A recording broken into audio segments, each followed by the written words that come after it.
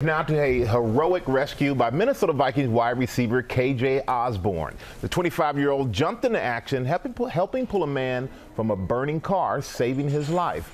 Will Reeve is here to give the play-by-play -play on how the rescue went down. Good morning, Will. Good morning, Michael. It's something out of a movie. NFL player turned superhero running toward a burning wreck to save a stranger's life, but it's real life. And KJ Osborn was one of a group of ordinary people who came to a most extraordinary rescue. It was the right place at the right time.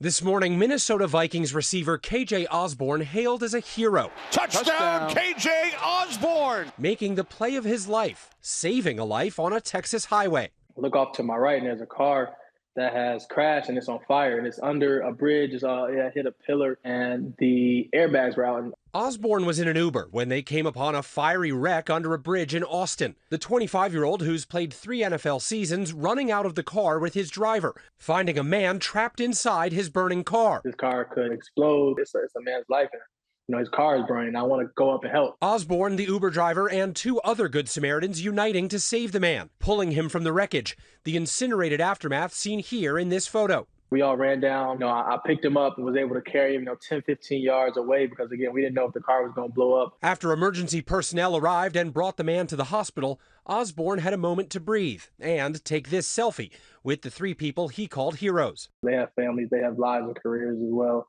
Um, so, you know, I just wanted to make sure, you know, they know that they were heroes. Osborn doesn't yet know the identity of the man he saved, but he's looking forward to reuniting. I'm kind of actually excited to be able to uh, find out who this guy was, just to be able to to shake his hand. And God is real, and um, you know, I'm just happy, you know, we were able to to to save this man's life.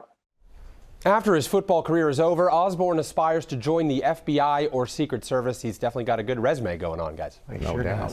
Thank you, Will.